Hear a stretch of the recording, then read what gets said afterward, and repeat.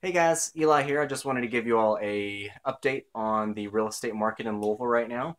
Um, I wanted to go over some statistics because I really want to show you how good the market is right now. I know statistics usually aren't that exciting; it's kind of boring, but um, just bear with me because I think you'll like these uh, stats.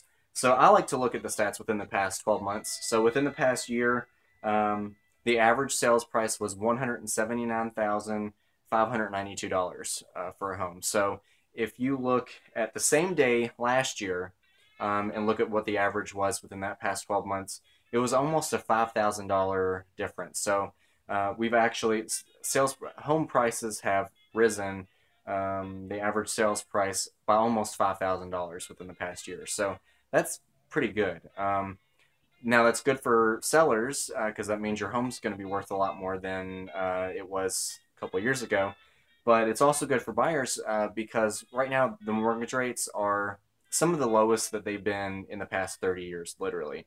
Uh, 30 years ago, average was about 13% of mortgage interest rate. Um, right now, they're they're anywhere between three and a half to four percent. Uh, you cannot beat that. So, right now, it's great to be a buyer, great to be a seller. Home prices are rising, mortgage interest rates are still really low, um, and even going into the fall, winter months.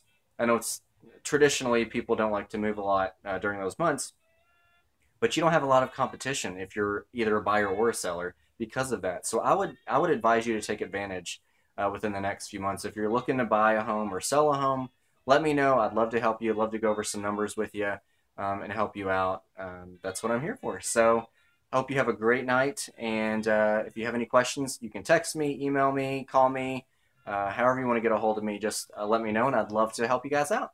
Bye.